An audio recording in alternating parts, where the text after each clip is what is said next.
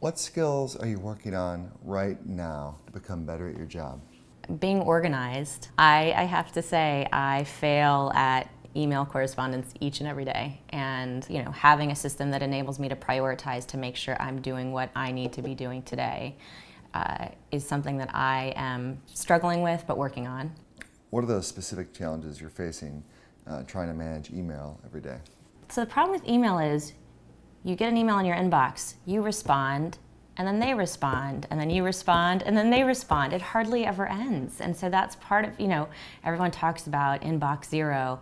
That doesn't that's not a thing in my life. I've i've, I've gotten to it once and then a minute later 10 emails pop up that are oh, by the way all really important. And as i've gotten older you know, I, I am approached so much more often now for, oh, can you meet with my daughter? Can you can we give advice? Can you do an informational interview? Can and there's a lot of, I think as I start to get into my mid 30s and have more of a track record from a, a professional standpoint, I'm getting asked to, to provide advice and do a lot of different things for different people, which I want to do. I was given those opportunities. It's karma, pay it forward, you know, do that, and and I enjoy it. But it just there's a lot of demands out there and the email front is it's a very lonely place because you can't you can't you have to be the one to respond. You know i'm not going to hire somebody to respond to my emails for me. Mm-hmm. i would like to have that uh, but i do think that